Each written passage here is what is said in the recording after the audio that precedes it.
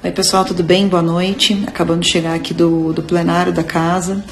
E aí algumas pessoas me pediram para fazer um vídeo para confirmar se a vaquinha que está tá, tá rodando nas redes é realmente minha.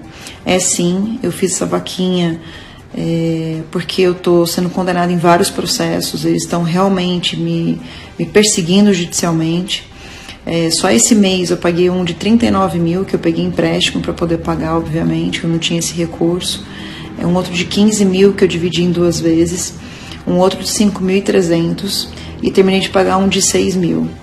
É, cada caso é um caso, mas um deles, para você ter uma ideia, é o, o, o dono da, da, foto do Borba Gato. Essa foto rodou o WhatsApp toda e eu não tinha como saber quem era, uh, de quem era o direito autoral.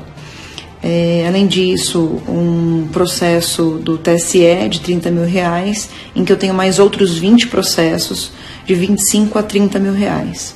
E que provavelmente vou perder vários deles, porque são processos em que eu ataquei o Lula em verdades, tá? Ah, um dos casos, por exemplo, que eu estou perdendo, esse de 15 mil, é aquele caso do TRE do Rio de Janeiro, que era um carro que estava com adesivo do Lula, eu perdi. Enfim, é, são vários casos, eu fiz essa vaquinha e quero pedir sua ajuda. Se você puder ajudar, vai ser muito bem-vindo, porque eu não tenho condições de pagar com o meu salário esses valores.